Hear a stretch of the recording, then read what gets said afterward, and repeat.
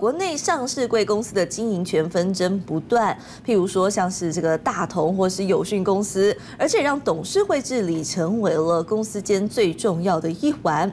而国内北中南学术界知名学者和和各大事务所合作，共同发起了组成台湾董事会绩效协进会，希望可以强化董事会的职责。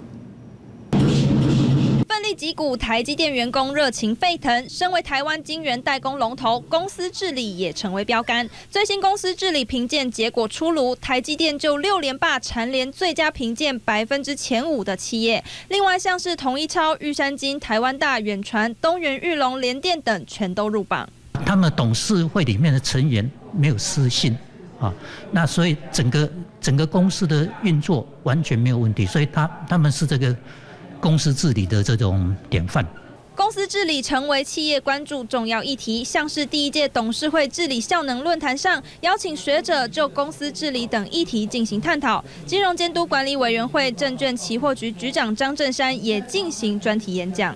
希望我们台湾的公司治理有所谓的三点零进阶版，是在我们的公司治理头，它的一个六个面向里面的。第一个重要的面向就是董事会的效能，好，所以我想今天的异地，呃，跟我们公司自己的概念是完全相符的。论坛中，专家也呼吁企业应更聚焦全面治理。公司治理指标比较高的一些公司呢，哈，它呃绩效比较高的这些公司，其实他们在呃员工的关怀上、环境的关怀上面，其实都有花了很大的一个心思。像是大同公司、友讯公司陷入经营权之争，专家也点出董事会绩效跟治理的重要性。它代表说，哦，我们现在对他们的的监理哦，可能有一些不足之处哦。那这个呢，啊，就是为什么我们要成立啊，啊，台湾董事会绩效哦协进会的一个原因。赞。看来，只有不断强化董事会职责跟功能，才能提升企业竞争力。东森财经新闻综合报道。来谈哦。